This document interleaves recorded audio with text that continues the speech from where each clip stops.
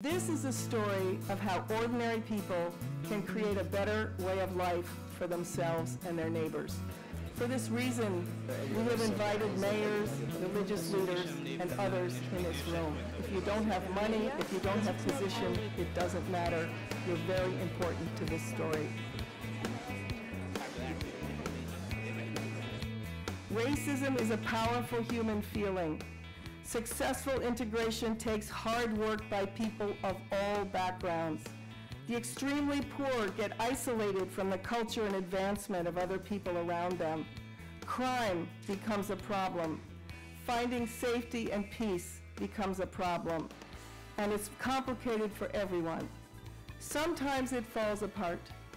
Sometimes hatred takes over. What this means is that innocent people on all sides may live in fear.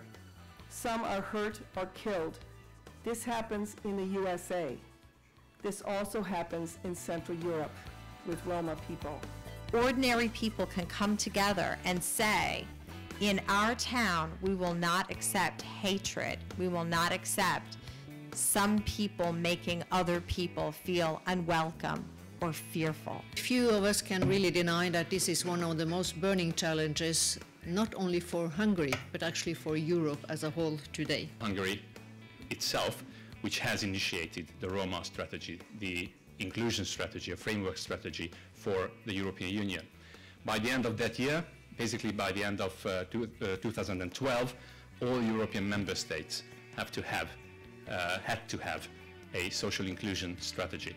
That we consider a major step. Not in Our Town is not an American model, it's a human model. And I think that's such a vital message for, um, for this story.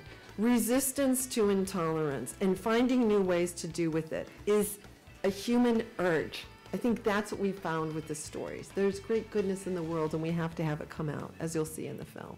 What was particularly really nice and useful that uh, we saw examples.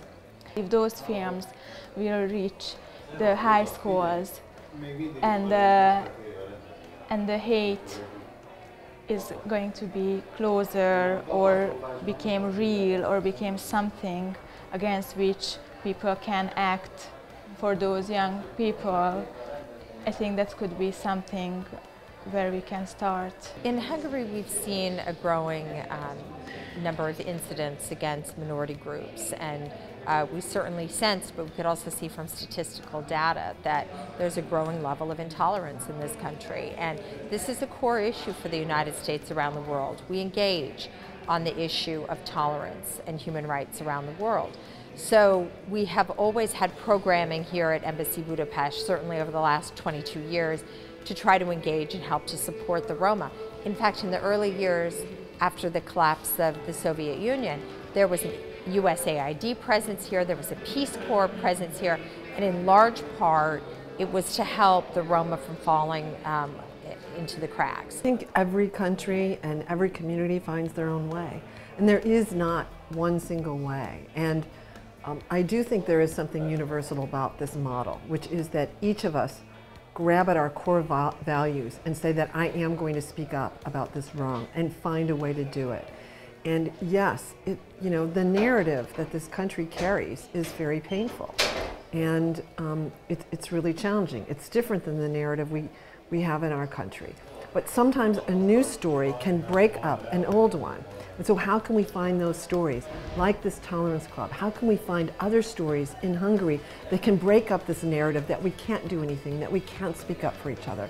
I think that's what we're really looking for, these new narratives, these new Hungarian narratives that can um, help people find each other and to make change.